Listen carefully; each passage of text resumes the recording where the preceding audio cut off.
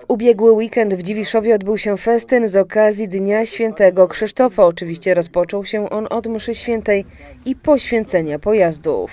Wspólna modlitwa przez orędownictwo Krzysztofa, czyli wypraszanie tych darów i łask, mądrości, bezpieczeństwa, ale też jest to bycie razem ze sobą.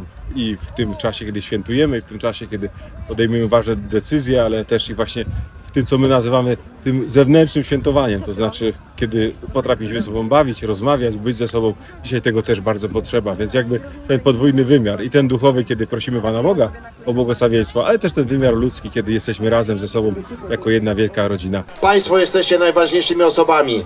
Przyszliście, żeby się razem spotkać, bawić, radować. Także życzymy bardzo przyjemnej zabawy. Festyn w Dziwiszowie łączy pokolenia i promuje lokalną kulturę, a także tamtejsze smaki. Jest to bardzo ważne święto dla wszystkich mieszkańców, e, ponieważ wiąże się ono z super atmosferą, e, no, którą widać.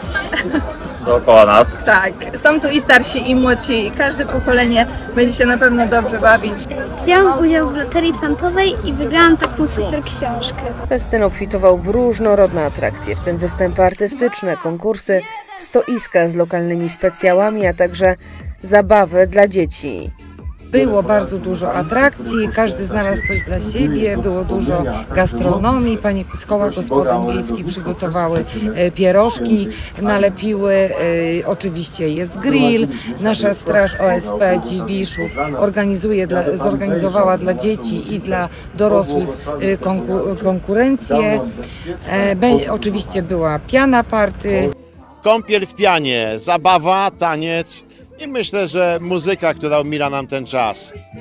Festyn wyróżnia się nowoczesnym podejściem i dużym zaangażowaniem społeczności lokalnej. Jesteśmy Dziwiszowianki z Dziwiszowa. Cieszymy się, że możemy wystąpić tu na festynie, bo to przecież nasza wioska i robimy dużo dla naszej wioski, żeby było wszystko dobrze. Mamy mnóstwo atrakcji dla dzieci i dla dorosłych. Przede wszystkim e, zespół Dziwiszowianki, e, zespół Seven Five Zone, e, a dla dzieci animacje taneczne, piana party, ogromne bańki mydlane.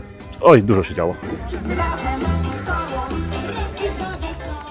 Dzisiaj jesteśmy w zakresie prewencyjno-informacyjnym. Jestem z dzielnicowymi, gdzie będziemy znakować dzisiaj rowery, będziemy dbać o bezpieczeństwo najmłodszych oraz seniorów. Będziemy tutaj przekazywać informacje, jak ważne jest, abyśmy byli bezpieczni wszyscy i dbali przede wszystkim o to, o bezpieczeństwo w górach, nad wodą i w domu.